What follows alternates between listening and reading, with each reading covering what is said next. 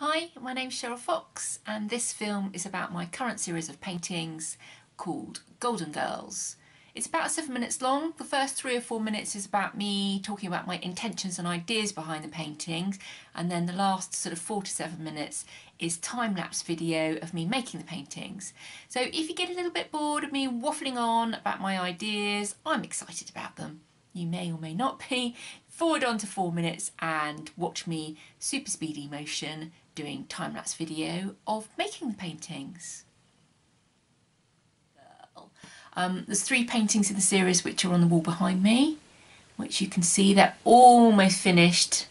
Maybe not quite just yet, they should be finished um, when I show you the end of this film. Um, but I was just going to talk a little bit about my intentions and how I've been working in the series of work. So my first intention was to work bigger I've been doing lots of work on 30 by 30 centimetre wooden panels and I work in acrylic paint um, and I wanted to size it up a bit. So the panels that you'll see behind me here are 40 by 60 centimetres and that's not huge but it's a next step up. I have done bigger work but um, it just felt like the next step up from what I've been doing at the moment. So my second intention was to work between representational and abstract work. I've been doing playing with both, um, done a lot more representational work and I think I'm still very much along the lines of representational um, with the work that I've got here but I'm playing very much with the backgrounds and I like the idea of the background and the foreground kind of being on different planes but crossing over. Um, I've been really influenced by graffiti art, wall art, where the wall plays a kind of integral part of the work and the piece. So that's kind of the idea that I'm working with there.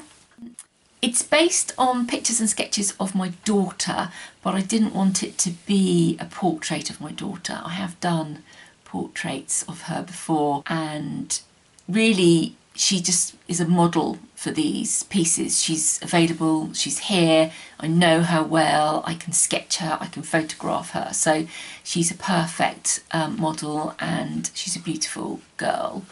Uh, she's 15 years old and so the ideas are actually relating to her and what it's like to be a teenager.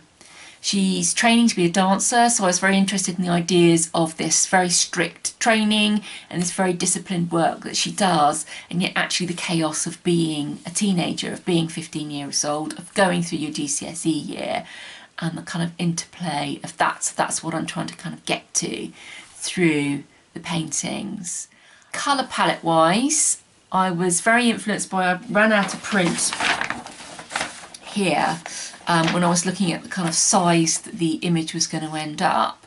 And you can see that I'd run out of black ink, so it came out this kind of orangey colour of the hair, and I really liked that. I really like that idea of playing with the colour palette a bit. Again, not making it quite so personal about her, um, bringing in a bit more of me and the kind of colours um, that I have, um, making it slightly less representational with the colours um, and playing with the palette I've been working in a lot of kind of purples and reds and blues but also bringing in the orange um, I quite like strong colour play and colour differences as well. I've called it Golden Girl really um, in relation to the kind of golden hair.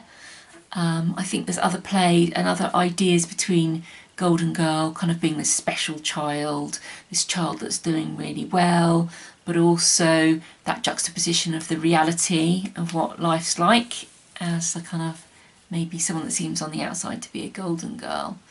Um, so I'll show you some footage of me work in progress and how I created them and I hope you enjoy the work.